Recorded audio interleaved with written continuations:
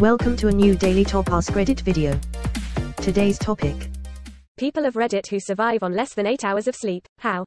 I remember one time in my life where I woke up feeling fully refreshed and I've never forgot that moment ever since. Naps make me feel even more tired than I was before sleeping. But there was this one nap one time that I woke up feeling the most refreshed I've ever been after sleeping in my whole life. Never been able to replicate it. You probably woke up once at the end of a cycle. Try figuring out what's your ideal length for a nap, you will feel so much better. Power naps are awesome. I usually get somewhere between 5 to 7 hours sleep. There is a constant feeling of tiredness, but at some point you just learn to ignore it or get used to it and carry on. So agree with you. I got caught up in my career for a while and was getting 3 to 4 hours a night at most. Really messed up my sleep patterns. When I finally slowed down and could get 6 to 7 it felt so much better. I wonder how I would feel if I got 8. The difference an extra hour or so makes is huge. Before COVID and working from home my commute to the office would be 1 to 2 hours each way and I was getting 4 to 5 hours sleep. Once lockdown and WFH started I would get up 20 minutes or so before needing to log on to my work laptop and that extra 2 hours of sleep made me feel so much better. I can't get 8. If I go to bed early I just wake up sooner. At least it's a natural wake up instead of to an alarm. Step 1. Ignore all the cries for help your body releases. Step 2. There is no step 2. Did you forget the crippling caffeine addiction that just makes you tired but faster? Nicotine, caffeine and hate. Ah, I found my people. Adapt, improvise, overcome, slowly die of exhaustion. This is why I had a heart attack at 32. I'm not overweight, non-diabetic. My ventricular arteries were stretched out so thin due to stress and exhaustion. It's in my post history. This is not the way. The shit I deal with now because of that has ruined my body. Work life balance is so important. It's weird more focus doesn't get put on that. Hate myself. Decide I'm going to bed earlier tonight. Fail. Repeat. It's cute when we think we're going to go to bed earlier, right? I'm constantly in a state of delusion. Well, sometimes I go to bed earlier to be good. Those are the nights where I toss and turn for two hours. Get bored and start browsing Reddit on my phone. And sleep even later than I would have. Gotta love getting even less sleep but without even the slight solace of having made progress. Through a show or game. Research revealed that around 3% of people are what is known as sleepless elite, meaning they can function perfectly normally on as little as 3 to 5 hours of sleep. It's an everyday superpower that I wish I had. Sadly my mother seems to have the gene but not me.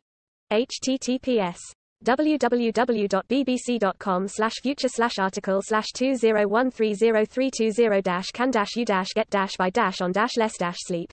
I'm whatever the opposite of this is. I require like 9 to 10 hours of sleep just to not be a zombie. I got 6 hours of sleep the other day and I was very literally nodding off at work while standing up. I hate it. I'm tired constantly because 10 hours of sleep is so unreasonable.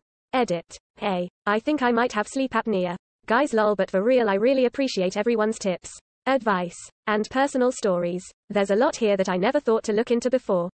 As soon as it's financially viable for me to do so, I will see a doctor and get a sleep study done.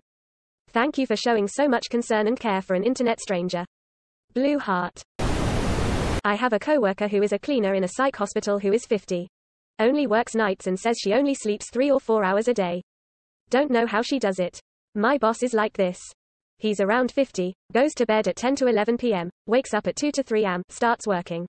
Everyone in the company knows that is mandatory to check your email re at the start of the day. Because the boss sends stuff during the night. Somehow he's the most energetic guy I've ever met. I boomerang all my late night emails is to not come off as deranged. They will just be like, wow, he sends emails exactly at 7 a.m. every time. So consistent. Quote. Team 6 to 7 hours here. It's totally normal for some people. Lol. Went to bed one hour earlier two days back. The reaction of my body? Wake up one hour earlier and now you can't sleep anymore. Have fun. Quote. The best is when I stay up a couple hours later on the weekend but still wake up around the same time I do to get ready for work during the week. You just stop caring about your health. That's how, right? That's a problem for future me. Fuck that guy. My future self will be very disappointed in me, but jokes on him, I'll ruin his life.